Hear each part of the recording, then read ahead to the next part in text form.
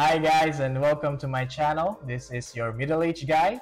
My name is AJ and for those of you guys who are new to this channel, thank you very much for joining us today. And if this video has been helpful in any way, I would really appreciate it if you can hit that like and subscribe button and maybe hit that bell icon as well so that you will be notified of any new videos coming in from our channel.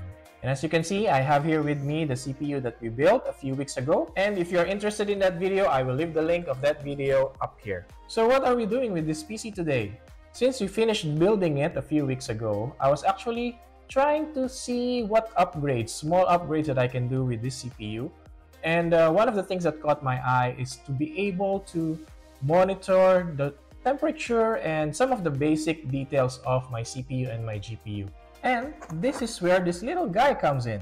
So this little guy is the Turing Smart Screen 5-inch IPS panel. So this is a screen where we can be able to display and see all our core temperatures for our CPU and GPU and some other details about uh, our PC as well. So this caught my eye because it's actually quite simple based on the description to set it up and to be able to use it. And I know that there are a lot of other IPS panels that can give you more details about your PC like your FPS and all the other de small details, but I was actually looking for something a little bit less complicated. And that's why I chose to buy this Turing 5-inch smart screen. This smart screen comes in two colors, black and white, but since we have the whole white build over here, I chose the white IPS screen. And today, we will be unboxing this 5-inch smart screen with you guys and we will set it up and see what kind of details we can set up in order for us to monitor the levels of the temperature in our CPU. So are you guys ready? Let's go!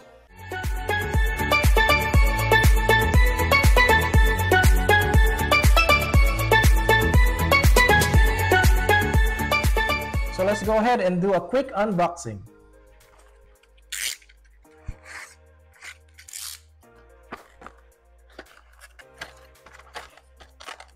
Okay, so from the inside, we can see that we have our 5-inch screen right here. So this is the 5-inch screen that we are going to use. And it also includes a mounting bracket with one screw and also a little stand. Hmm. Okay. So it means that if you don't want to mount it, you can actually just put it something like this or like this. Okay I guess it depends on how you want to use this. And it also comes with two cables. As I read from the description you can actually use uh, either of these cables. You don't need to use both of them. So you can use just one of them. So one is to go directly to your motherboard to connect to one of the USB headers. And this other side is to connect to this connection on top of here okay? Or if you want and you just want to display this uh, nearby your uh, monitor or somewhere you can easily see uh, maybe that's why they have this stand so maybe you can just put it like this and just use this USB-C cable to plug it on this side and just plug it to any port USB port on your And once you do that, it should power up your screen. Quite simple enough. As for the accompanied software of this, uh, they don't actually have a website, but it's just like a Google Drive that they have given in the instructions for us to download. So we'll check it out and we'll download it and we'll see what we can do and set up with the software given for this Turing 5-inch smart screen. Okay guys, so now that we have downloaded the file from uh, the website given to us uh, for this 5-inch uh, smart screen, we just need to extract this. And once we have extracted this, we just need to open this file up. And you can see this application called USB Monitoring L.exe. So we should open this file. Once we have opened this file, it will try to connect to our 5-inch screen and we will show us uh, this user interface. So from this home tab, uh, we'll be able to see uh, our different kinds of theme that we have. So it depends on your choice of theme. They have already some built-in themes. By the way, all these themes, you can find it under the same folder under theme and you'll be able to uh, see all these uh, themes that you have already pre-installed for you by TURZX. Okay, so for example, I chose the theme for, uh, we have here Spider-Man. So once we click Spider-Man, we just need to click run and it will connect to our device and it will render our application with all the details of our GPU usage, CPU usage, and all our temperatures onto our 5 inch screen.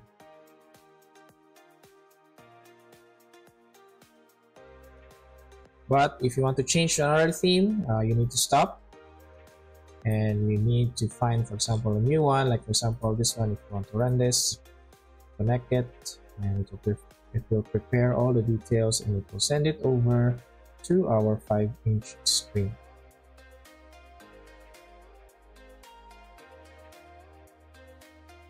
And again, if you want to change to another one, we just need to change it uh, to the ones that we have. For example, choose this uh, ROG simple one.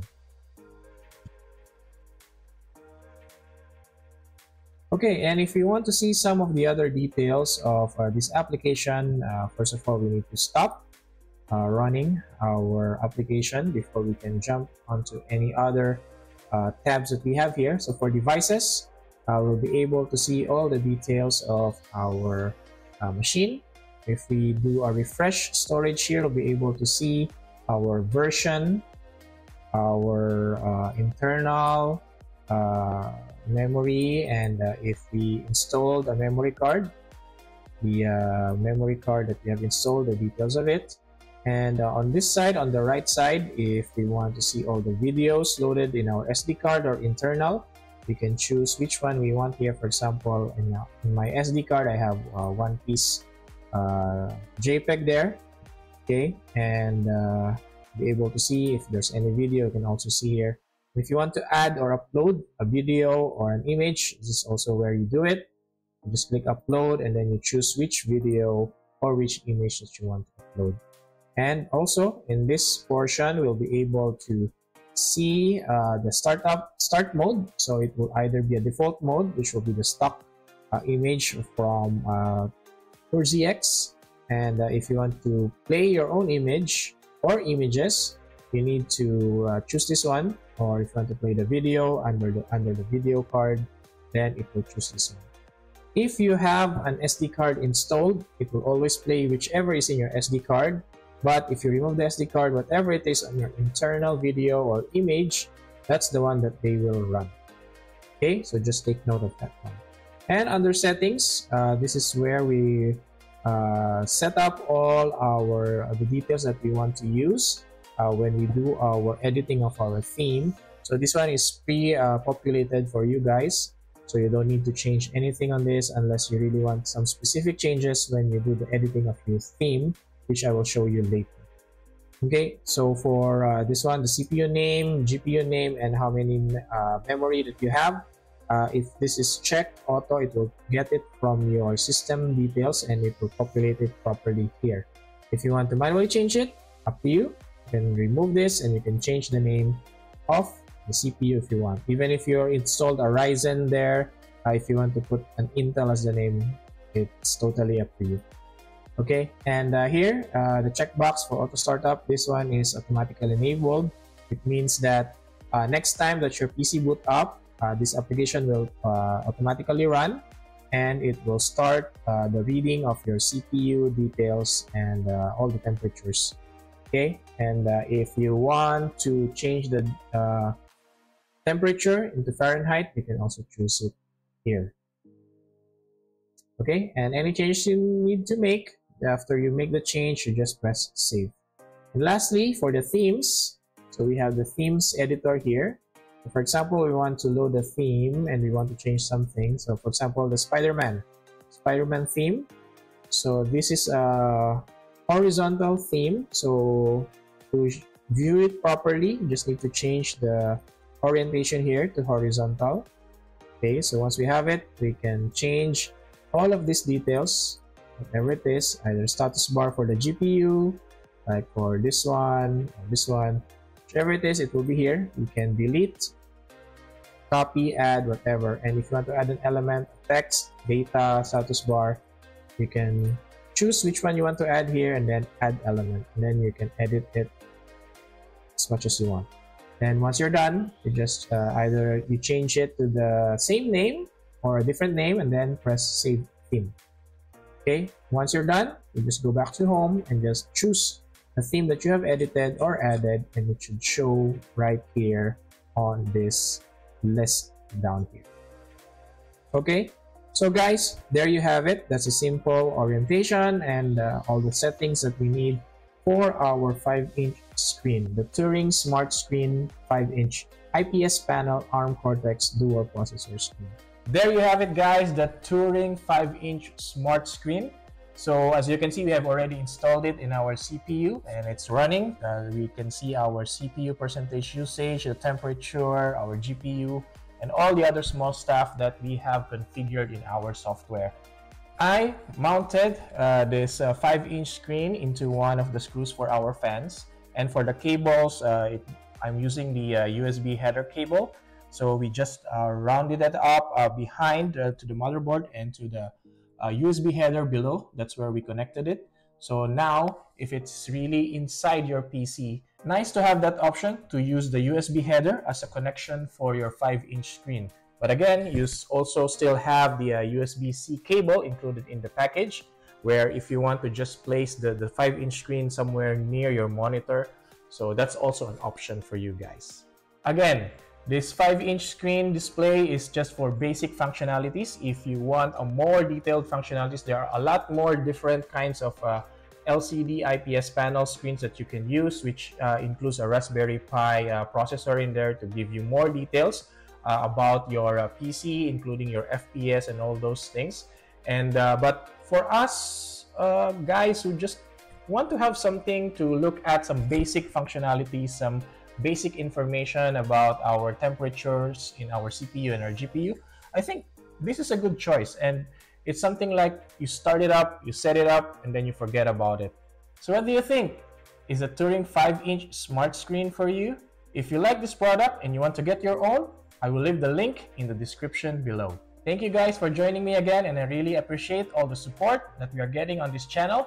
And if you are not one of those who are subscribed to this channel yet, I invite you to just like this video and subscribe and hit that bell icon so that you will get notified every time we get a new video up on this channel. Thank you guys for joining and again, if you have any comments, any questions, just leave them in the comment section below and if you have any more suggestions of things you want to see in this channel, just leave it in the comment section below. Thank you guys and I'll see you in the next video.